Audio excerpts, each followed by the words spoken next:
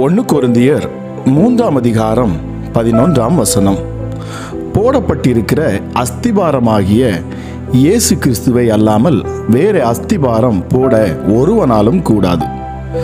கிறிஸ்துவுக்குள் பிரியமானவர்களே ஒருவன் கடினமாய் உழைக்கிறான் அவனுடைய நினைவு நாம் கடினமாய் உழைக்கிறோம் என்பது. அப்படிப்பட்டவன் மணலின் மீது வீட்டை கட்டுகிறவன். மற்றொருவனுக்கு அவனுடைய நினைவு நான் கடினமாய் உழைக்கவில்லை. காரணம் அவன் கண்மலையின் மீது வீட்டை கட்டுகிறவன். ஆம்பிரியமானவர்களை அஸ்திபாரத்தை அவர் போட்டார்.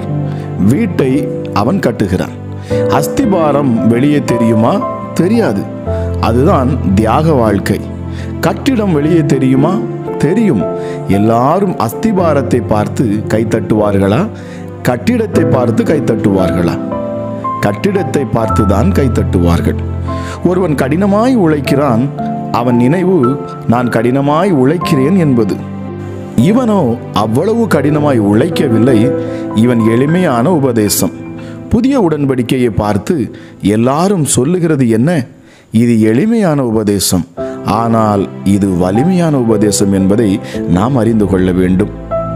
இயேசு கிறிஸ்துவின் அசைக்க முடியா தியாகத்தின் மீது இயேசு கிறிஸ்துவின் அசைக்க முடியாத வாழ்க்கை என்ற கண்மலையின் மீது இந்த கட்டிடம் கட்டப்பட்டிருக்கிறது. கட்டிடத்தில் மாற்றமில்லை மாற்றமும் வித்தியாசமும் அஸ்திபாரத்தில் தான் இருக்கிறது. முதலாவது உடன்படிக்கையை மனிதனோடு பண்ணினார் தேவன்.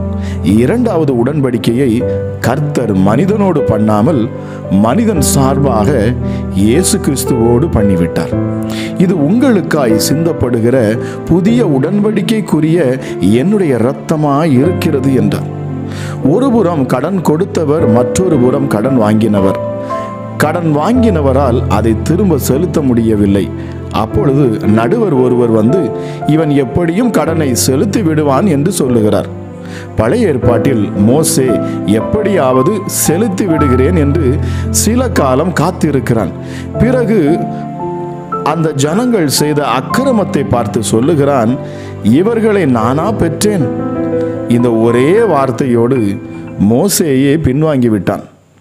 பிரியமானவர்களே இதுதான் பழைய உடன்படிக்கை. இது தோற்றுவிட்டது. அடுத்து இயேசு கிறிஸ்து வருகிறார். இவர் பிதாவிடம் பேசுகிறார். இவன் கடனை கட்டிவிடுவான் என்று பிதாவிடம் சொல்லுகிறார். இவன் கடனை கட்டவில்லை என்றால் கட்டாவிட்டால் நான் கட்டுகிறேன் என்றார். உங்களுக்காக இயேசு பிதாவிடம் சொன்னார் இவன் கட்ட வேண்டியதை எல்லாம் செலுத்த வேண்டியதை எல்லாம் நான் உங்களுக்கு செலுத்துகிறேன் என்றார். அவர் அப்படியே செலுத்தியும் விட்டார். இதனாலே பிதாவோடு நம்மை ஒப்புரவாக்கினார். பிரியமானவர்களே புதிய உடன்படிக்கையை பார்த்து எல்லாரும் சொல்லுகிறது என்ன? இது எளிமையான உபதேசம். ஆனால் ஒன்றை மட்டும் அறிந்து கொள்ளுங்கள் இது வலிமையான உபதேசம்.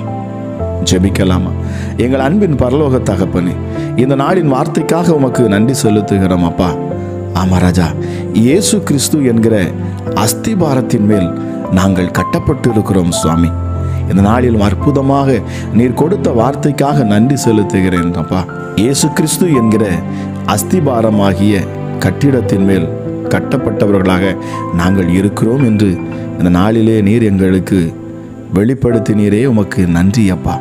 ஆமா ராஜா. எங்களுக்காக எல்லாவற்றையும் செய்து முடித்தவர். எங்கள் கடன்களை தீர்க்கும்படி வந்தவர். எங்கள் பாவ சாப கட்டுகளை முறிக்கும்படி வந்தவர். எங்களை அதிலிருந்து முழுமையாய் விடுவிக்க வந்தவர். ஆமா சுவாமி. ரத்தம் சிந்தினவர் நீர். எங்களுக்காக மறித்து பிதாவிடம் பரிந்து பேசினவர் நீர். இந்த நாளிலும் இந்த வார்த்தையை நீர் கொடுத்து எங்களோடு கூட நீர் பேசினீரே. உமக்கு நன்றி.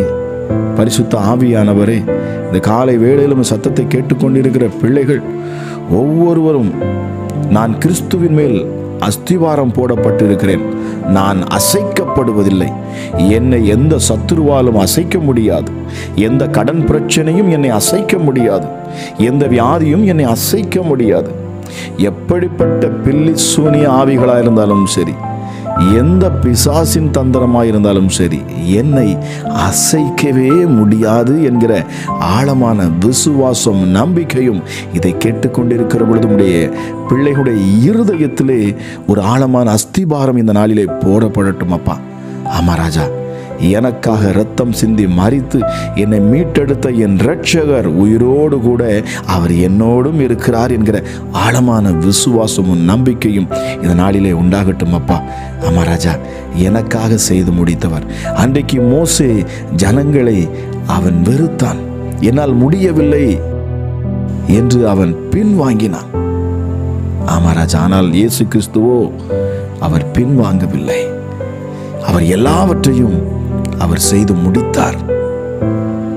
இயேசுவே எங்களுக்காக இரத்தம் சிந்தி மறித்து எங்கள் பாவங்கள் எங்கள் அக்கிரமங்கள் எங்கள் மீறுதல்களுக்காக அடிக்கப்பட்ட ஆட்டுக்குட்டியாக இந்த பூமிக்கு நீர் வந்தீரே. பலியாக வேண்டுமென்றே இந்த பூமிக்கு வந்தீரே. எங்களுக்காக எல்லாவற்றையும் செய்து முடித்தீரே அப்பா. உமக்கு நன்றி. இப்பொழுதும் நீர் சிலுவையில் முடித்து எடுத்த அந்த வெற்றியின் மேல் எங்களை அஸ்திபாரம் போட வைத்தீரே. உமக்கு நன்றி அப்பா. இப்பொழுதும் கேட்கிற பிள்ளைகளுடைய சூழ்நிலைகளை நீர் மாற்றித்தாங்க ராஜா. இந்த காலை வேளையிலும் உம்மை நோக்கி பார்க்கிற முகங்கள் பிரகாசிக்கட்டும். இந்த அதிகாலை வேளையில் எசப்பாமுடைய வார்த்தையை கேட்கிற பிள்ளைகளுடைய இருதயத்தில் அப்பாவுடைய வெளிச்சம் பிரகாசிக்கட்டும். எஸ்டடி நான் கிறிஸ்துவின் மேல் போடப்பட்ட அஸ்திபாரமாக இருக்கிறேன் என்னை ஒருவனாலும் அசைக்க முடியாது. எப்படிப்பட்ட காற்று வீசினாலும் சரி புயல் வந்தாலும் சரி ஒன்றும் என்னை சேதப்படுத்த முடியாது என்கிற ஆழமான விசுவாசமும் நம்பிக்கையும் உடைய பிள்ளைகளுக்கு இந்த காலை வேளையிலே உண்டாகட்டும் அப்பா. பரிசுத்த ஆவியானவரே சத்தியத்தை ஆழமாய் கற்றுக் கொடுக்கிறவரே இந்த நாளிலும் உடைய பிள்ளைகளுக்கு நீர் கற்றுக் கொடுக்கிறீர். அதற்காக நன்றி. நாங்கள் இயேசு கிறிஸ்துவின் மேல் போடப்பட்ட அஸ்திபாரம் என்கிற இந்த வார்த்தைக்காக நன்றி செலுத்துகிறேன். கேட்கிற பிள்ளைகளை உடைய அளவில்லாத கிருபையினாலும் சமாதானத்தினாலும் இந்த நாளிலே நீர் நிரப்பும்படியாக நான் ஜெபிக்கிறேன் அப்பா. இந்த நாளை ஆசீர்வதியும். உடைய பிள்ளைகளை சந்தோஷப்படுத்தும். உடைய அளவில்லாத கிருபையால் நீர் சூழ்ந்து கொள்ளும் என்று சொல்லி ஜெபிக்கிறேன். ஜெபம் கேளும் ஜீவனுள்ள நல்ல பிதாவே. ஆமீன் ஆமீன். பிரியமானவர்களே இன்றைய வேத வசனம் உங்களுக்கு மிகவும் ஆசீர்வாதமாக இருந்திருக்கும் என்று சொல்லி நான் கர்த்தருக்குள் விசுவாசிக்கிறேன். இன்றைய வசனம் உங்களுக்கு ஆசீர்வாதமாக இருந்திருக்கும் என்று சொன்னால் நீங்கள் இதை மற்றவர்களுக்கும் இதை ஷேர் பண்ணுங்க. அதன் மூலமாக அவர்களும் ஆசீர்வதிக்கப்படுவார்கள். கர்த்தர் உங்களையும் ஆசீர்வதிப்பார். இதை கேட்கிற உங்கள் கர்த்தர் தாமே தம்முடைய அளவில்லாத கிருபையினாலும் சமாதானத்தினாலும் உங்களை நிரப்புவாராக. ஆமேன்.